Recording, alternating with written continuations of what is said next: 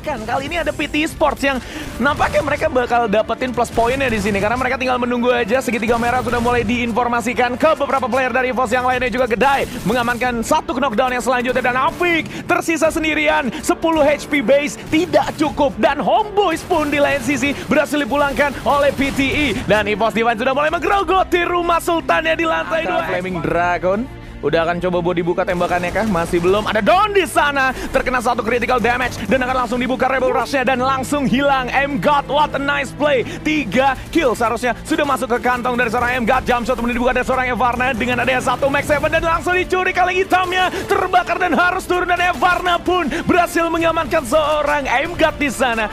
Agak sedikit jauh dari gap player to player dari tim EVOS. Namun di lain sisi Ray mengamankan seorang God Van. Dan juga PTE sudah mulai boleh panik karena EVOS Divine kali ini melontarkan satu Riptide Rhythm menuju ke seorang Evarna dan Evarna pun tumbang untuk yang kedua kalinya. 7 poin eliminasi untuk EVOS Divine kali ini guys. Sesat lagi. Duh, langsung dibuka. Untungnya Gedai gak setumpul itu masih bisa diandalkan tentu saja. Dapetin satu orang tapi ini juga jadi... akan langsung join the fight membantu seorang Gedai karena ini akan menjadi match yang berat jika satu lawan tiga Ray datang tempat waktu Alan juga di sana berhasil diamankan. Bara menggocek menuju ke area kanan juga kiri dan the Ghost di sana masih troll free ditabrak lagi dengan menggunakan kaleng hitam. WAG tidak diberikan pulang langsung di tapping kembali. Trogon triple burstnya dibuka dan sekarang momentum yang benar-benar merugikan untuk WAG karena mereka udah nggak bisa ngebelanjain kawan-kawan lagi dan Huawei Sports yang di mana awal gamenya mereka lumayan terseok-seok sekarang mereka bertemu dengan sang macan putih. Dua kill lagi remains dari Huawei Sports dan bahkan Kin mencoba untuk stripping di bagian bawah namun harus tumbang pula Huawei Sports dipulangkan Gedai kembali menjadi. Dan juga kawan-kawan yang lain dari tim Twisted Mind mereka ingin melakukan ending terhadap EVOS Divine. Gedai dan juga Ray mencoba untuk menggulung match terlebih dahulu. Namun fight akan langsung pecah kembali lagi karena Twisted Mind keluar dari rumah kayu mereka. Dan satu persatu EVOS Divine pun akan langsung ditumbahkan horizon lain bisa digunakan tapi apa? Ya, karena masih ada perang yang harus dilanjutkan di arah field. Terlihat satu tukar satu tak terhindarkan tapi sekarang udah berhasil di revive kembali seorang Bara dan Emgat udah yang cukup bold untuk melawan Expand itu sendiri. Sehingga Ray pun sekarang di sini udah lumayan terpojok bakal dicicil habis-habisan sama seorang DXL dan akhirnya Ray pun juga harus kandas. 4 poin eliminasi berhasil di-secure sama teman-teman dari Wings sudah kekikis, Zen juga demikian, Bara dapetin Jun, dan ini bahaya banget untuk teman-teman dari EVOS Divine karena EVOS Divine bisa banget untuk juga dihajar dari WAG. Tapi Bora masih bisa mendapatkan satu kesempatan itu. Cabut. Enggak juga demikian, berhasil dapetin Wing, Gedai dapetin Traps. Wah, ada Alan datang ternyata berhasil dapetin Sensei. Todak akhirnya bakal kanda sisa Zen doang. Ray bersama Gedai dan juga Emgat manfaatkan keuntungan yang bisa mereka dapatkan dan ini udah semakin chaotic sementara WAG udah tinggal enjoy the show aja tinggal nikmatin hasilnya aja. Ada Ah. 1v1 yang miss dari Gede dan juga Ray membuat EVOS harus kandas di peringkat ketiga akhirnya sisa. Teman-teman dari Di bagian zona cepatnya ada tiga squad di bagian bawah di sana Triple A. Coba untuk menggunakan satu Rebel Rush namun di counter begitu saja dengan banyaknya grenade dan juga satu shotgun double barrel yang di prepare oleh seorang Abax. Abax main menggantikan seorang Gedai, eh sorry menggantikan seorang Bara dan sekarang mereka sudah mendapatkan pundi-pundi kill sebanyak dua kill saja. Remains dari tim Triple A hanya tiga player saja. Abax terkena satu pepeng shoot pula dan Gedai masih bisa menggocek masuk menuju ke bagian kontainer kehilangan dua player dan Gedai kali ini akan komit menuju ke bagian jar jam 12 dari seorang Ponggat. Ada reviving plus juga satu penggunaan dari flash freeze.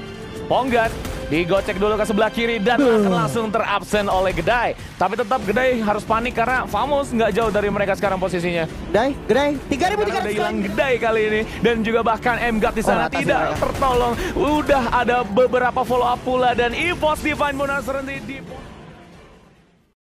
Kecuali memang udah ada Arpon yang di pop up oleh tim EVOS Divine. Ada Don yang berhasil dihilangkan, begitu juga Ray yang akan langsung mendapatkan satu poin eliminasi dibuka oleh FGL dan juga mendapatkan beberapa damage burstnya dan akhirnya Ray pun mendapatkan headshot beberapa critical damage Volky pun hilang. Nice. Begitu juga dari seorang Ray mengabsen lagi seorang Kogar. Ada satu last survivors dari Triple A yang di mana mereka belum bisa mendapatkan vending machine-nya sehingga limit harus menggunakan Market dan akhirnya pun masih aman. Ponggat di sana harus menggocek menuju ke bagian sebelah kirinya. Karena mungkin Abax berhasil ditumbangkan, tapi Ray masih mengabsen dan juga memberikan strapping demi Nice. sedikit. Dan akhirnya Ray mendapatkan tiga kill sekaligus di dalam satu kali team fight. Dan expand di lain sisi dipulangkan di ST ke-11. Tadi kan mereka udah sisa satu dong, Pak. Betul, betul, betul. Sisa satu. Dan EVOS Divine sekarang mereka berada dalam tenda. Triple A sudah memang mengabsen satu player. Abax coba buat keluar dengan Rebel Rush. Dan bahkan ada satu frag grenade yang lumayan menyasar di sana. MGUT berhasil mengambil Polki. Dan bahkan Abax juga dapetin limit. Ini sisa dua player saja. Bigetron Delta harus menghentikan perjalanan mereka di ST ke-7. MGUT berhasil taken down. Abax masih terbuka. Gedai di sana masih terlalu low HP-nya. Namun Gedai justru yang berhasil mendapat seorang Kogar. Dan ini menjadi bencana. Karena memang dari Force Divine tersisa satu lagi dengan posisi horizontal. God of Wolf mereka akan mengisi di Rust Town-nya di sana Jisven dan Bigetron ketemunya bukan sama Triple A aja tapi mereka di sana bakal didatangi juga oleh tim Famos dan ada beberapa spray down juga yang dibuka oleh tim Homeboys dari bagian lower ground sedangkan untuk EVOS Divine mereka ada di atas semua Jisven lolos ke challenge final nih. Kalau dia kalah ini kebangetan pakai banget banget banget. Tapi harusnya nggak ada alasan untuk kalah untuk EVOS Divine kali ini kecuali dia kecolongan polos, kecolongan polos yang nggak harus terjadi. Oke dua, oke tapi sisa satu.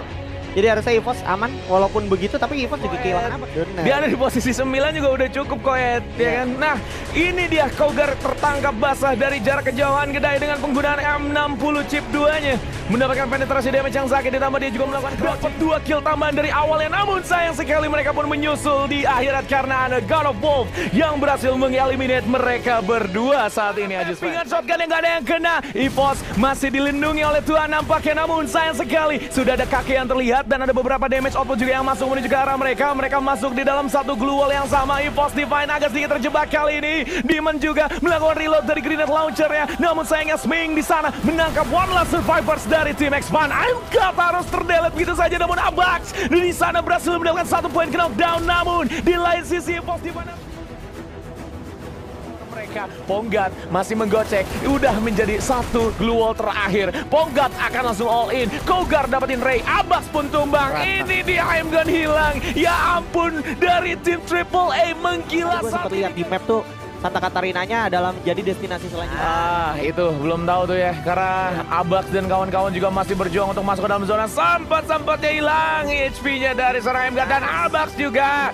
Gedai Ray berada di luar zona. Ini bukan pakai Fort zaman dulu ya guys ya.